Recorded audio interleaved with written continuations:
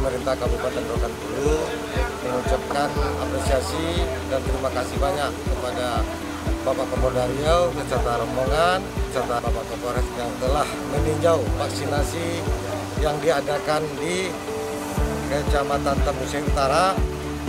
Hari ini juga kami menyampaikan kepada masyarakat Rokan Hulu menghimbau bahwasanya yang belum vaksin masyarakat mohon kiranya secepatnya datang ke tempat vaksin yang sudah disediakan oleh pemerintah Kabupaten Rokan Hulu bekerja sama dengan TNI Polri yang ada di Kabupaten Rokan Hulu.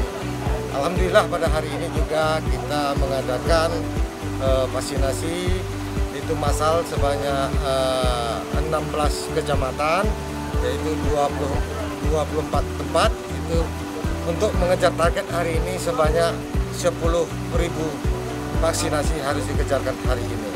Dan juga kami atas nama pemerintah Kabupaten Rokan Hulu untuk mengejar target sampai Desember ini sebanyak 60 sampai 70 persen.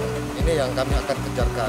Alhamdulillah juga kami tadi menelpon Ibu eh, Kadis Kesehatan Provinsi. Hari ini beliau membantu kita vaksin sebanyak 10 ribu. Insya Allah nanti hari Selasa atau Rabu kita dibantu lagi 10 ribu lagi. Dan juga ke depan juga kami akan menyampaikan juga kepada Bapak Bupati untuk bekerjasama juga dengan kesehatan untuk mengejarkan vaksin dia ke pusat. Ini yang kami kerjakan nanti untuk depan ini. E, masyarakat yang mengadakan tahun baru dan Natal tentu kita menghimbau juga kepada masyarakat bahwasannya tahun baru dan Natal tetap memakai prokes.